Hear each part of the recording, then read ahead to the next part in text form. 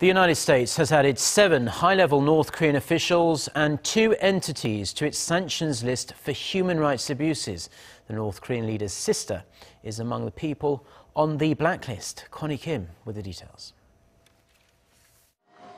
The United States has slapped a fresh set of sanctions on seven North Korean officials and two agencies, including North Korean leader Kim Jong-un's sister Kim Yo-jong for human rights abuses. The Department of Treasury's announcement comes as the State Department released a report on the grave human rights violations in North Korea, calling the regime's human rights abuses among the worst in the world. The report said Pyongyang continues to commit extrajudicial killings, arbitrary arrest and detention with as many as 120,000 people, including children, in prison camps. The blacklist includes the Labor Ministry, State Planning Commission, Kim Yo-jong, who is a deputy head of the propaganda agency that engages in media censorship, and Kim Won-hong, who heads the State Security Ministry that engages in the inhumane treatment of detainees in prison camps.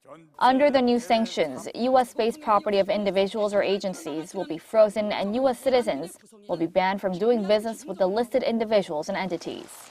A State Department official reportedly said the U.S. does not expect the new sanctions or any aspect of Washington's policies to spur immediate change, but hope they'll bring modest effects. The U.S. has been upping the pressure on Pyongyang for its human rights violations, putting Kim Jong un on its sanctions list for the first time in July.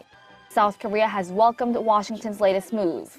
Seoul's foreign ministry said such measures raise international awareness on the seriousness of North Korea's human rights situation and will contribute in bringing out stronger and specific moves to deal with the issue. Connie Kim, Arirang News.